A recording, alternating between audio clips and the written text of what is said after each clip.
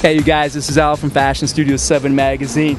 We are in the city of Toronto, right down the street from our studio, at a place called Paris Bakery. Just enjoy the sunshine, nice little beverage, and just watching the the action go by. Issue number 12 is out. On the cover of this issue, we have acting, singing sensation Cory Lee. Now, you're going to know Cory Lee best from a role at Degrassi, as well as hit singles. So you're going to get to know Cory a little bit more intimate in this interview. We also have a great article on marriage. Is it important to get married?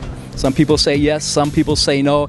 Is it all about the wedding or the reception? Do you have to have a certain amount of money before you get married? Women's love affair with high heel shoes. What is it? What does it do for your body? It's like an instant makeover in just four inches. Incredible. We had Euro Cup mania going on down the streets of college all over the city of Toronto with Germany and Portugal and Italy and of course Spain. Now Kashawn had the opportunity to go one on one with singing sensation superstar Ron Pope. Now if you haven't heard of Ron Pope, you will be. Dude's just lighting up. We go to a lot of fashion shows and one fashion show we had the opportunity to go to was called Raise the Rhythm. Now there are heroes for this issue. All the money that was raised went to charity.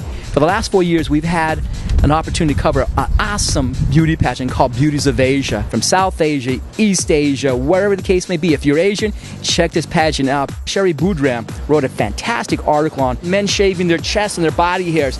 Man, dudes, why are you shaving your body hair all over the place? Is it a sign of our masculinity? We have an amazing team here at Fashion Studio 7 wishing you a great summer. Stay safe. Most of all, put your feet up and stay cool.